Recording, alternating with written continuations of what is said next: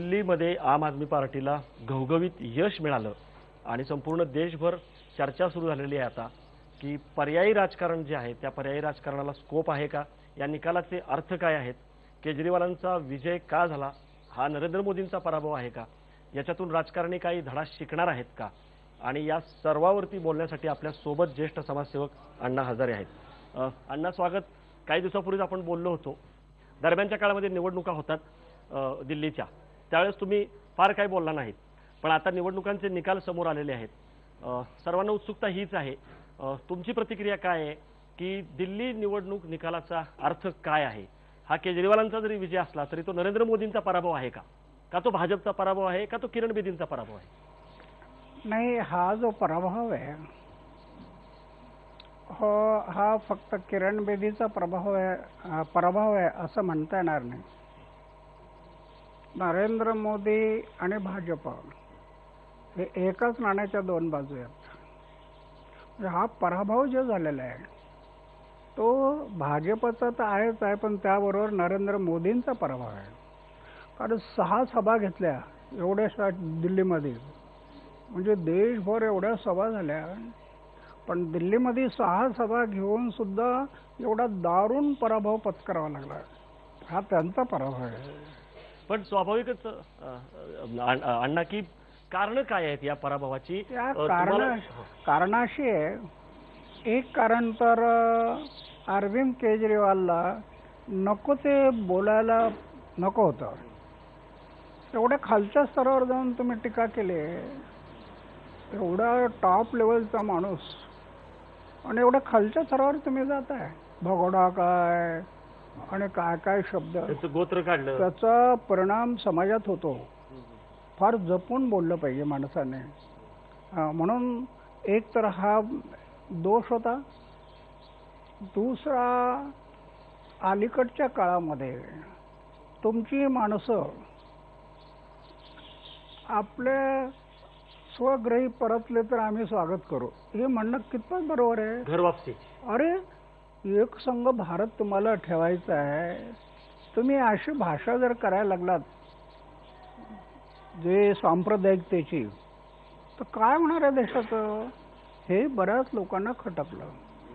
दुसरं गेल्या नऊ महिन्यात तुम्ही जे आश्वासन देत गेलात एवढी आश्वासन दिले.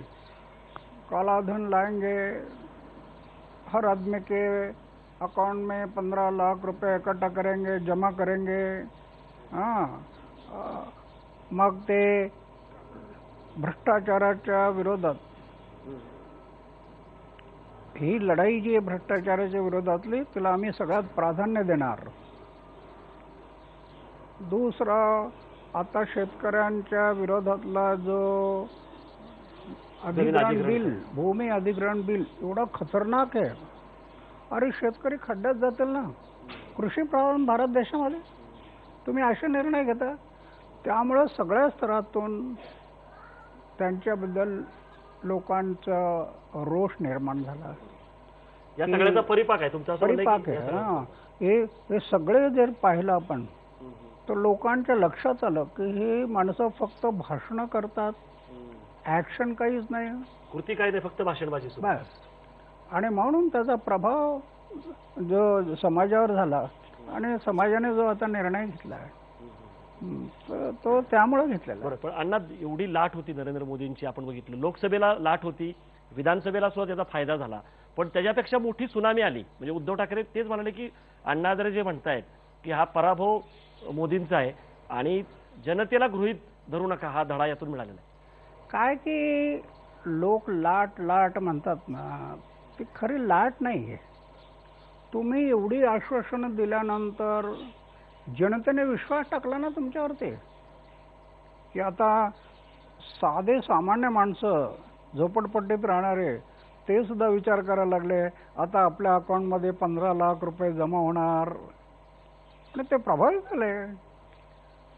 हे जी तुम्ही सगळी आश्वासनं देत गेलेले आहे आणि त्याच्यातलं पालन काय झालं? पंधरा लाख सोडा पंधरा हजार पंधरा हजार सोडा पंधरा रुपये सुद्धा जमा नाही झाले. बरोबर. म्हणजे नुसती भाषणबाजी झाली आश्वासन दिलं गेलं. पण मला दुसरीकडे सांगा की केजरीवाल आणि बेदी अशी लढत होती आणि तुम्ही असं म्हणाला होतात की हे दोन्ही शिष्य माझेच आहेत. तर मुख्यमंत्री कुणी झाला तरी मला समाधान आहे.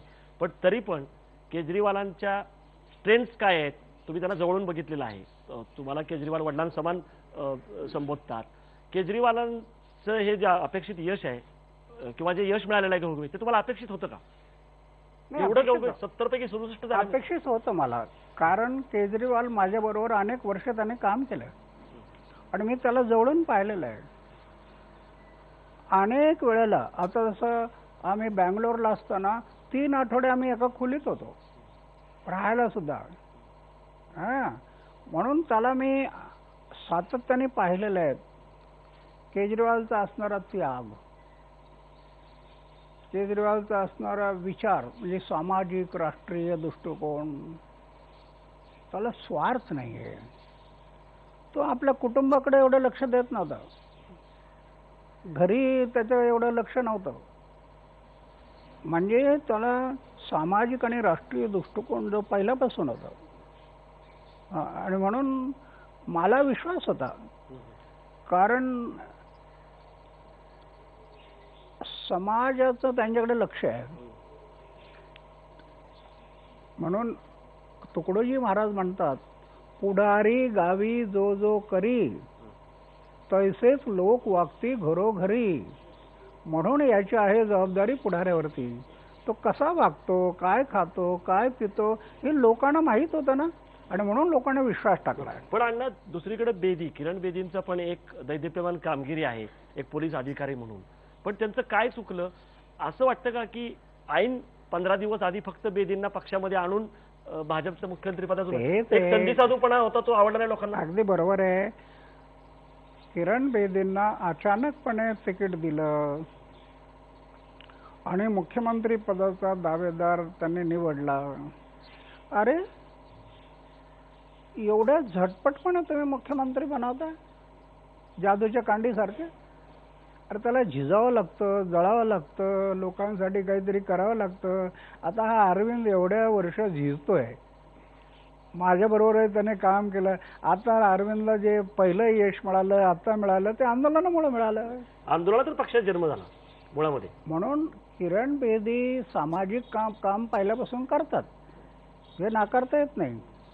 पण समाजाशी एक नाळ जी जोडून करायला पाहिजे ते किरण बेदीचं देशभर आता परदेशात दौरे सारखे चालू असतात परदेशात ते जातच नाही. पण हा जो किर अरविंद जो आहे त्याचं दिल्ली आणि दिल्लीच्या अवतीभोवती जास्त ल लोकांशी संपर्क होता. आणि म्हणून लोकांना माहीत होता तो कसा आहे काय आहे तो- तर लोकांचा विश्वास होता. हा फरक झाला. हे इथं आठ दिवसात पंधरा दिवसात महिन्यात मुख्यमंत्रीपणा पदाचा तुम्ही विचार करता. हे एवढ्या झटपट मुख्यमंत्री. साधूपणा राजकीय तो नडला. पण मला सांगा की मला वाटतं या बी जे पीवाल्यांनी डाव साधला. की एक किरण बेदी सामाजिक कार्यकर्ते आणि अरविंदच्या उभे विरोधात उभं केलं तर ते निवडून येईल. हा त्यांचा भास होता. आणि त्याच्यामुळं मला तरी वाटतं की किरण बेदी म्हणजे बळीचं बकरं बनवलं. पण अण्णा मला सांगा की पहिलं जे सरकार होतं अरविंद केजरीवालांचं ते काँग्रेसच्या पाठिंब्यावरती होतं. आणि त्यामुळं त्यांना लोकायुक्ताच्या लोकपालच्या मुद्द्यावरती सोडावं लागलं आणि ती चूक झाली. तुम्ही सुद्धा म्हणाला की अरविंद केजरीवालांनी चूक केली. आता तर घवघवीत यश मिळालेलं आहे सदुसष्ट म्हणजे विरोधी पक्ष नेतेपदाच्या एवढ्याशा जागा दिलेल्या नाहीयेत. आता तुमचा सल्ला काय राहील केजरीवालांना? त्यांनी कशाला प्राधान्य दिलं आम्ही पहिलाही त्याला सल्ला दिला होता. पहिल्या वेळेला सल्ला दिला होता. आता फक्त पाच वर्ष दिल्ली दिल्लीच्या बाहेर बाहेरचं नाही. आणि पाच वर्षात दिल्लीला मॉडेल करायचं. पण त्याचं पाऊल चुकलं. त्याला काहीतरी वाटलं की आता आपण देशात सुद्धा अशा प्रकारची क्रांती करू. अरे देशात जायला वेळ लागतो. म्हणून त्याने जो निर्णय घेतला आणि राजीनामा दिला ती त्याची चूक झाली. आणि मी त्यांना म्हटलं की ही फार मोठी चूक केली. त्याने ते मान्य केलं. आणि जाहीरपणे सांगितलं की मी राजीनामा दिला मुख्यमंत्री पदाचा ही माझी चूक झाली. आता आता तो निवडून आल्यामुळं अशी चूक तो करणार नाही. कारण दुधाने तोंड भाजल्यानंतर ताक सुद्धा लोक फुकून पितात.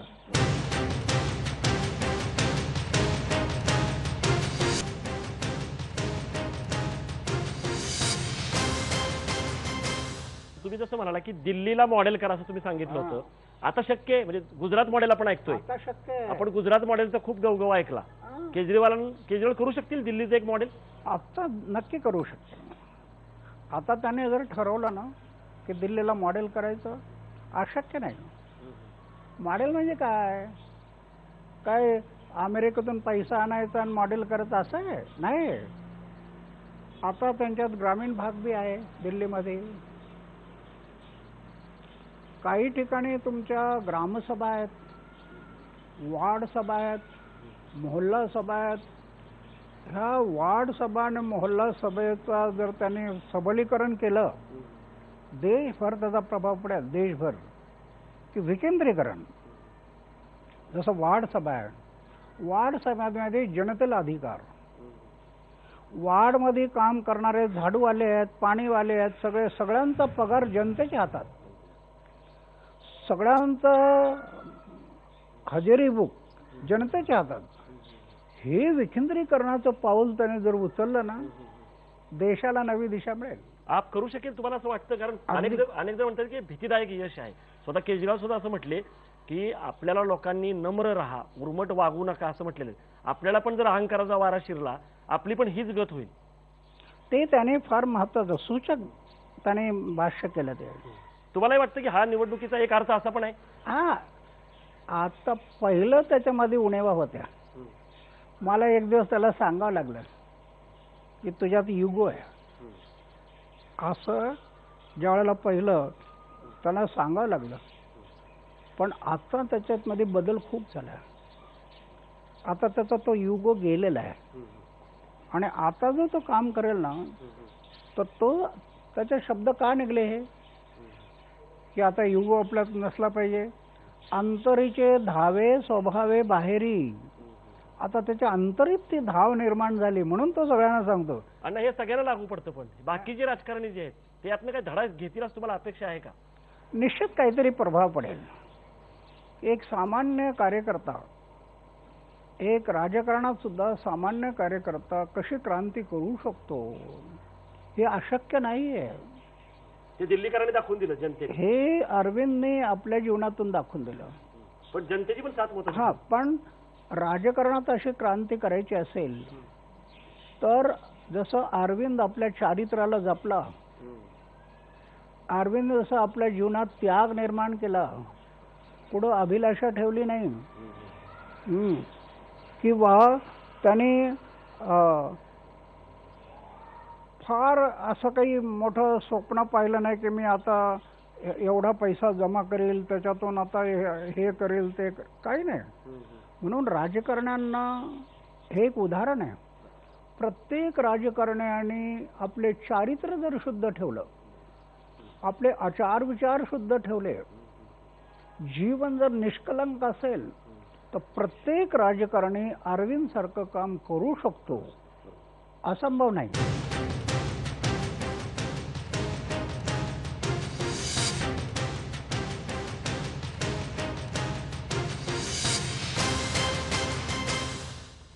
आता आंदोलन करणार आहात तुम्ही आंदोलनावरती ठाम आहात.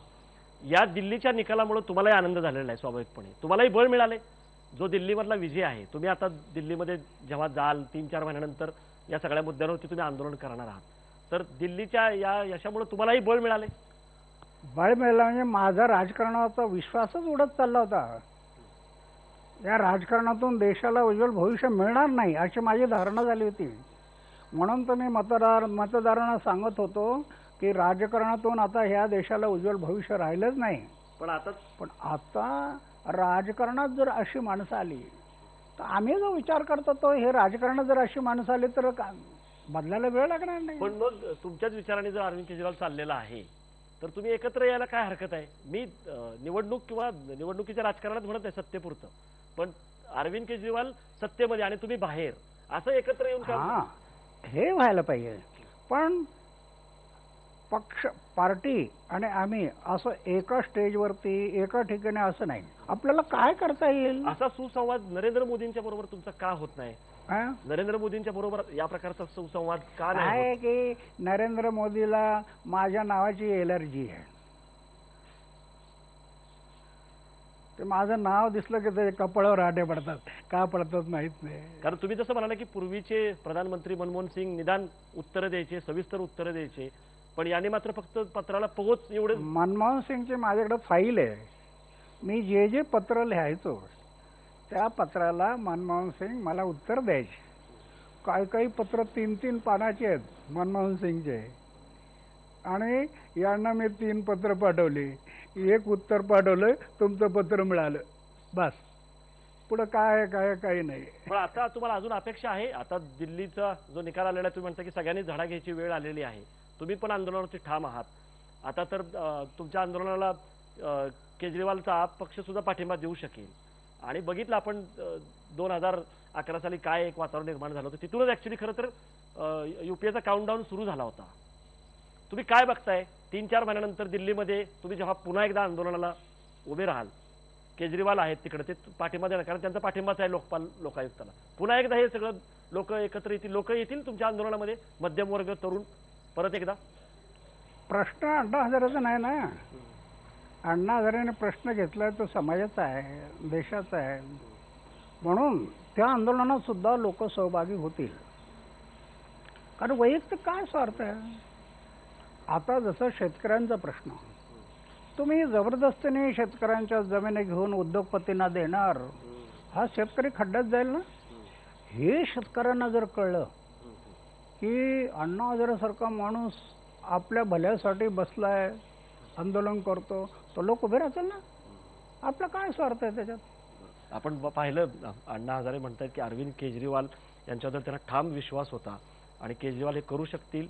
आम आदमीच्या यशाचा हाही अर्थ आहे की पारंपरिक राजकारण बदला घराणेशाहीचं राजकारण बदला. चारित्र्य आणि मेहनत प्रामाणिकपणा याला महत्त्व आहे. आणि अशा पद्धतीनं जर राजकारणी वागली तर बदल घडू शकतील.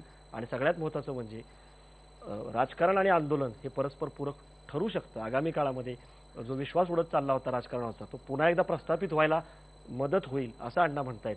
त्यामुळं केजरीवाल यांचं यश कशामध्ये दडलेलं आहे नेमकं? त्या यशाचं गमक काय आहे? आणि पुढं काय काय बदल होणार आहेत? हे सगळं आपल्याला अण्णांनी सविस्तर सांगितलेलं आहे. आज इथंच थांबूयात. अचूक बातमी ठाम मत पहा फक्त आय बी लोकमत.